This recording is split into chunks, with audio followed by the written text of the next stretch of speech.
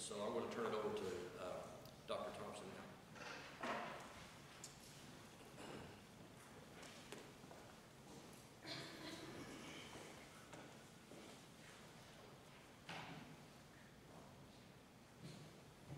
Well, again, I appreciate your inviting me to Faulkner University. I have known about Faulkner University. Some of our faculty have come from uh, Faulkner, and uh, some of your faculty have come from Abilene Christian. So uh, there's been some kind of a partnership here, and uh, glad to be here. Uh, also coming from Abilene, glad to see a place with uh, tall trees and things I'm not uh, So the uh, drive we drove, uh, the drive was uh, very pleasant. I, uh, I once heard a story that uh, Don Morris, who was president of Abilene Christian, went to visit Lipscomb and he saw the tall trees. And he asked uh, the president of Lipscomb, "What is your water bill?" And he saw the tall trees and he, he couldn't he couldn't imagine that at uh, Abilene Christian thought that must be a water bill uh, to have such uh, tall trees there. So uh, it's been nice and uh, this is a lovely campus that you have and uh, I uh, appreciate the opportunity to uh, reflect with you. Uh, if you have the uh, handout, uh, it's not exactly an outline, but there's some things uh, I came kicking and screaming into PowerPoint, and um, I sometimes teach with PowerPoint, but it uh, distracts from my. I'm not coordinated enough to do the PowerPoint, and uh, but I did want some things out in visually for you. And uh, the topic today is uh, spiritual formation is corporate formation, and uh, that's the handout uh, that you should be seeing. Well. A term that came into my vocabulary a decade or so uh, ago was the term spiritual formation. Uh, little did I know that that's a very, very old word. Uh, it goes back to the Middle Ages and to the Reformation period, and originally had to do uh, with the uh, preparation of uh, priests to, to, be sure that they were people of integrity and spiritual development. Uh, as it has come down, of course, it has become common property of almost every tradition, and it's, it's, it's obviously a very good thing.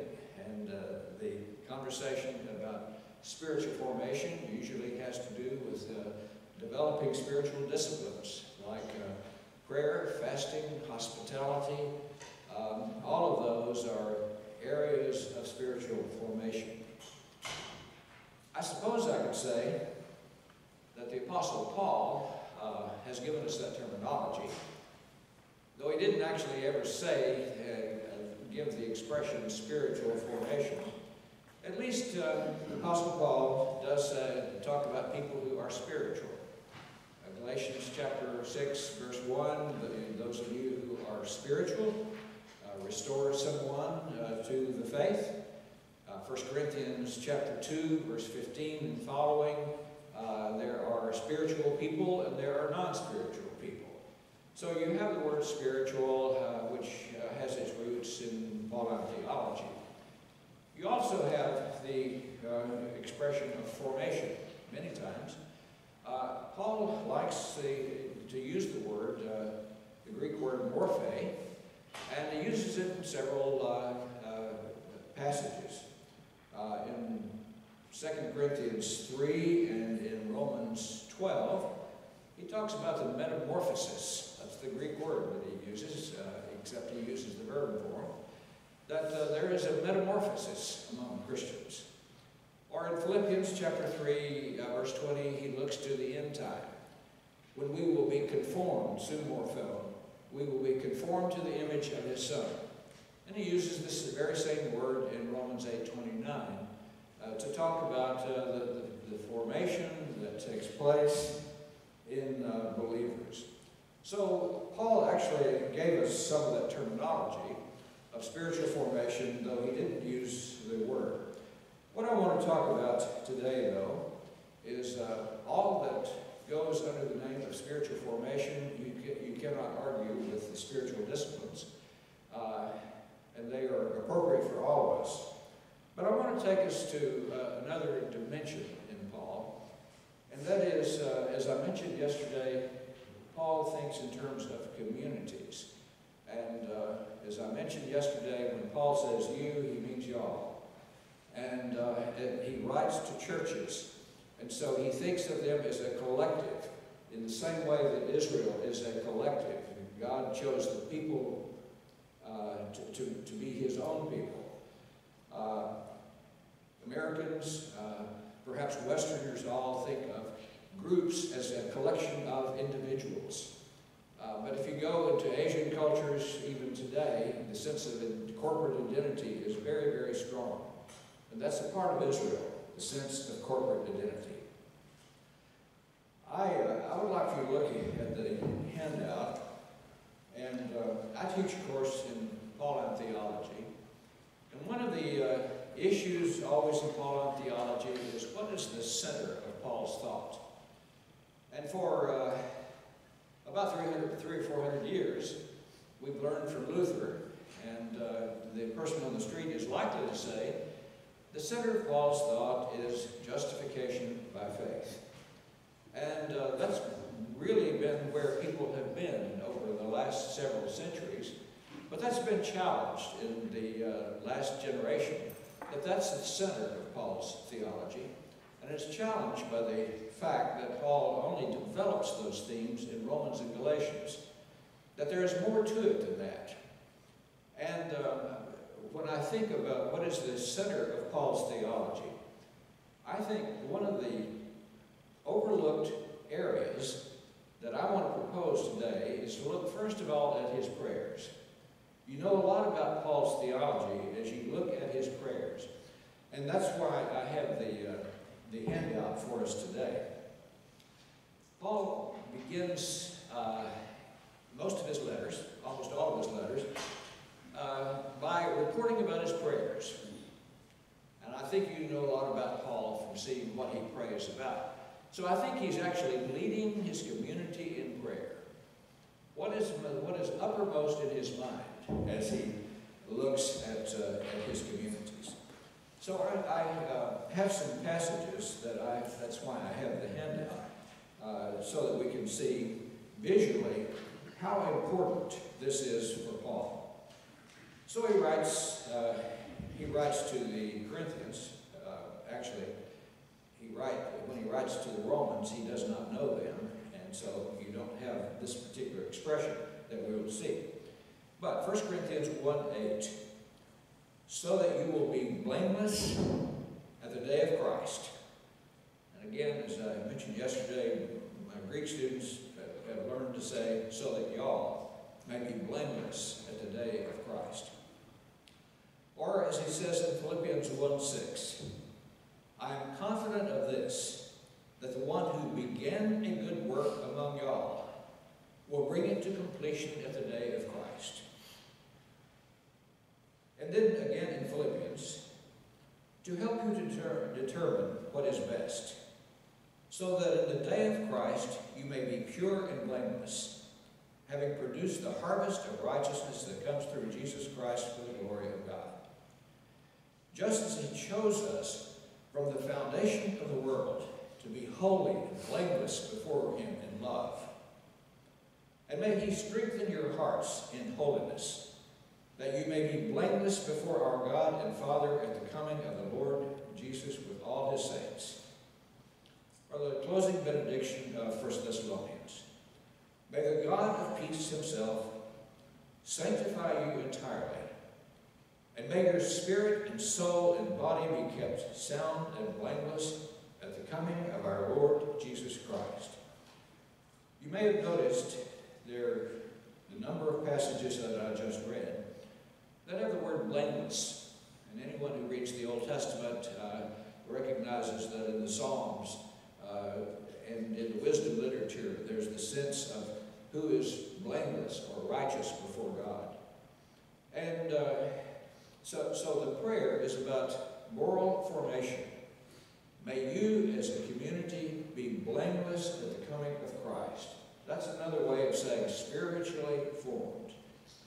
And I call to your attention the, uh, the, the fact that uh, every one of the passages that I read has an eschatological uh, vision at the day of Christ. At the day of Christ. That uh, the people are spiritually formed at the day of Christ. Now, uh, as I look at that, there's a sense of blamelessness. And that, uh, one reason I pointed this out is that all of Paul's letters have this constant theme. And so when we think about what is he really about, uh, what comes to mind is what he's really about, whatever the community's situation, is where are they going to be? Where are they going to be at the end time? Will they be spiritually formed? That is the challenge, and that is what, uh, what uh, Paul uh, indicates here as important to him. His prayer reports are uh, vital and important for us. I also think about uh, there are times when Paul talks about what he's about. So I mentioned his prayer reports uh, that begin his, his letters, uh, and they indicate something of what he is really. There are also occasions when he steps back and says, here is what my ministry is all about. And I uh, call your attention to, uh, and I think I will go sequentially in his letters, uh, again on the handout. For what is our hope or joy or crown of boasting before our Lord Jesus Christ at his coming? Is it not y'all? That is, at the second coming, what do I want to accomplish? It, it is going to be a blameless community. Now, there's an expression in Isaiah chapter 49 where the servant is speaking in, in this particular passage. And there's the phrase, so that I not run in vain. And Paul picks up that phrase out of Isaiah chapter 49. And there is uh, there's the alternative in his, his own ministry. Will he run in vain as a minister? And running in vain as a minister means a community that began well and did not finish. So that uh, in, in, in Pauline correspondence, the, the church is his crown of boasting before our Lord. Or the next passage in Philippians. It is by your holding fast the word of life that I can boast in the day of Christ that I did not run or labor in vain. Now that's a passage again that goes back and it's echoing Isaiah chapter 49, 6. Paul is taking that role of the servant who either runs in vain or does not. And running in vain, of course, means a community that does not finish its, its, uh, uh, its work. Or, I would say, the uh, book of Second Corinthians is uh, about whether Paul is a true minister or not. The word ministry appears about as many times in Second Corinthians as all the other letters of Paul put together. Uh, are they ministers? So am I. Now, in the thesis statement of Second Corinthians, uh, chapter 1, verses 12 through 14, he says, I want to be your boast at the day of Christ. And I want you to be my boast. Now that word boast kind of uh, uh, has a negative reaction with many of us, but uh, I guess to put it in better alternative English is to say, I want to be proud of you at the day of Christ. This is what I'm going to be proud of. Again, that I did not run in vain. And you see this so much as, as Paul talks about what he is about. That on the, the day of the Lord, we are your most, even as you are ours. Uh, they uh, have challenged his ministry. And so in our passage, he he's hoping that Second Corinthians will answer their questions about whether he is a minister or not. So he could say, I want to be your boast. I want you to be proud of me. But I to be proud of you as, uh, as we look toward the end. Or in the, uh, the next passage, Colossians 1.22. He has now reconciled you in his fleshly body through death, so as to present you holy and blameless and irreproachable before him. To present you. The word present is a word for offering a sacrifice. This is what I'm going to offer to God at the end time. Or, of course, you know, in 2 Corinthians, Paul is, uh, he's the father of the bride. 2 Corinthians chapter 11. I betrothed you to Christ so that I might present you a pure virgin. And that, of course, is eschatological. That is toward the end time. To me, this is the, this is the challenge of, of reading Paul. As I mentioned uh, a, a few minutes ago, for so long, we thought that the center of Paul's theology was justification by faith. But it's been called to our attention that uh, this is the center of Paul's theology, is about how to get in. And there is so much of our reflection, our understanding of missions, which is how do you get in? And of course that uh, important. Uh, Paul is an evangelist. He gets people in. But Paul, is, as he says in 2 Corinthians 11, 28, I have anxiety for all the churches. He didn't just leave them, he wrote letters. And if he couldn't uh, communicate otherwise, he sent his, uh, uh, his co-workers, Timothy and Titus, to follow up on his churches. Now, I think we can learn something. Um, if justification by faith is about how to get in, something is left out. What about moral formation? Uh, as we saw Paul's prayer reports and when we see what Paul is about, in some passages he talks about, I want to preach Christ where Christ has never been named. And that is to be able to bring people in. But in the passages that we just saw, my ambition is to have something that I boast about at the end, at, at the end time. I want a transformed people. I, uh, in, in teaching, I, uh, I don't know how many times, I uh, engage students who are really ambitious, faithful, and the world is before them, and what they want to do is to go plant a church. Because that is exciting, to create something, or to be a part of something that hasn't happened before, to create a church to, to, to plant one. But I always want to ask, where will you be 10 years later? After you have planted, where will you be? Where will they be? It's, it's exciting to start, but it's another thing to transform people. There's a long history of uh, church planting. I've, I've, traveled enough in Europe to know church plants that started off with the excitement of something new. But time passed by and they languished because the excitement uh, was not there. And so as, as the time goes on, it was about getting people in. It was about getting something started. And it did not, it did not last.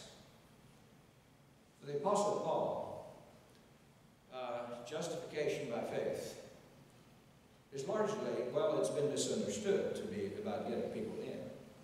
Because if you continue to read Romans, it's not just getting people in, it's getting people transformed, uh, as, as uh, Paul describes it.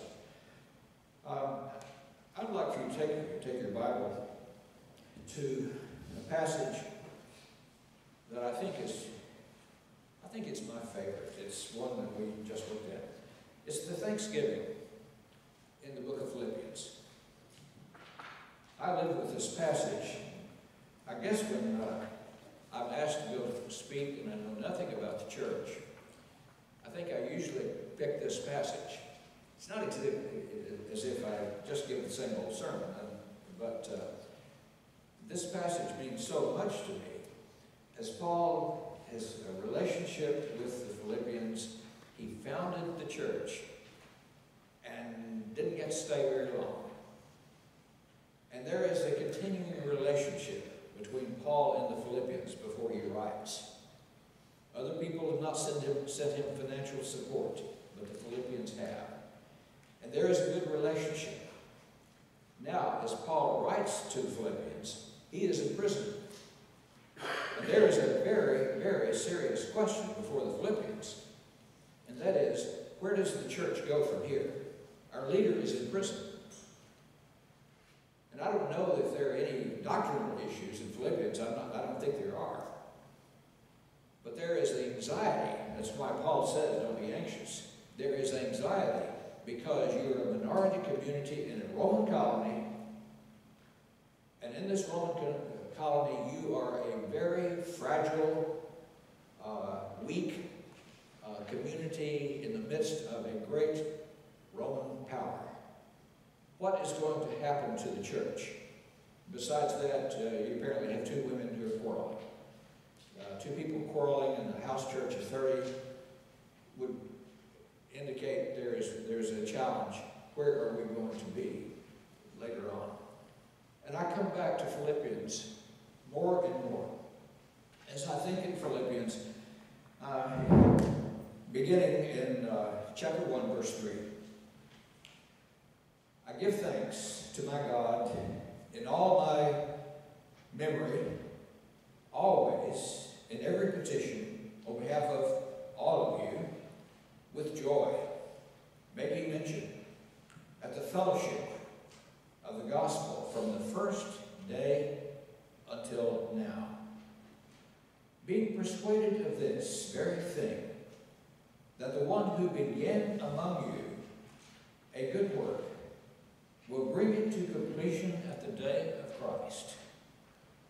And what I see in this passage is that every church is telling its own story. There is, this, there is a narrative. Now, as I mentioned yesterday, to be church is to be a part of Israel's narrative. You, are, you came into the narrative midway. But to be church is to be a part of Israel's narrative. But this is kind of beyond my comprehension, knowing church as I know church today. Here is the sense of a church that has a beginning, a middle, and an end. And every church, this church, every church, is in the middle of a narrative. And so uh, this passage I come back to so often because it talks about the middle of the, the church is in the middle of a narrative. God began a good work among y'all. That is, He established a church. There's the first day until now. That's where we are in the middle of the story. And despite all of the sources of anxiety that we have with uh, Roman power all around us, and people who've been abandoned by their families, there is a future. And I am convinced, Paul says, that the one who began a good work will bring it to completion at the day of Christ. Now think about that, uh, implications of that for church life today. The church is telling a story. That doesn't really work with our tradition of individualism, does it? Where people opt in and opt out. They go to this one or they go to that one. And I don't know how it worked in his day. He didn't, his churches didn't have the mobility that we have today, where people move from place. Probably they're more stationary. But it's, a, it's not just people who being formed, uh, individuals being formed. God is at work and has begun a good work. That's when they were converted. And they, they are in the middle of a story. And God is going to bring it to completion at that day. Now he goes on in, in his prayer in verses 9 through 11, tells you what he's looking for. We're not there yet. We're in the middle of that story. But what is it going to look like when we get there? And there's where you have a petition. Here's my prayer.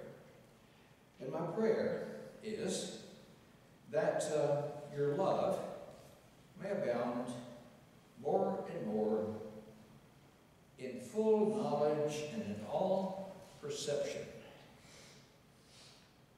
He doesn't talk about loving one another here. He, he says that you learn to love. He doesn't mention the object. That's a learning process. This is my prayer. You're not there yet. Euodia and Syntyche are still quarreling. But that you will be there and that you will love, learn to love more and more in knowledge. Again, it's a learning thing, in knowledge. And in full perception. I don't know what your translation says here. Uh, the Greek word here is uh, aesthesis, from which we get the word aesthetics. And I think that's interesting. Uh, aesthetics is uh, art, music appreciation, and so forth. Uh, I can remember I had a required course at, uh, in my graduate days in aesthetics. And I kind of defied them to teach me anything because I was a, an absolute Philistine. Uh, didn't know the importance of art or music or anything like that. And so I wasn't uh, in the uh, mood to learn much about it. And I also didn't do very well in, in the course because uh, aesthetics didn't mean much to me. Now, as I got older and traveled, I think, what I wish I had learned back then. Aesthetics. That is, uh, aesthetics is a sense of touch, uh, a sense of uh, perception and touch. And he says, this is my prayer, that you learn to love more and more, not just love one another, learn to love with touch. That's a learning process. And that is spiritual formation, to learn that way. And the very next line, that you may learn to approve the better things. It's actually a, an expression very well known among Stoics. To, to, to be a good person among Stoics is to approve the better things. Now, Paul has taken their word and he's redefined it. But what he's saying is spiritual formation is corporate formation. It is moral formation. That's what spiritual formation. Moral formation within the context of a community. Now, I think, think, think of the fact, all of us in our churches are in the middle of a story. Now, in, in Paul's day, they, they turned from paganism to the radical change of being a Christian. We live in a kind of different society from that. All of Paul's converts were first generation converts. Sort of like the mission field today. First uh, generation converts. What a radical change that took place with them. I want to read a, a, a few other passages that indicate something of the radical change. That is to say, we all had a beginning. Churches live in the middle of a narrative, and we look back to. I'm going to read some passages. I, I, don't have that in the handout. But what I'm looking for are the passages that say, y'all were once this, and now you are this. That is the beginning of the story, when God began a good work. So I just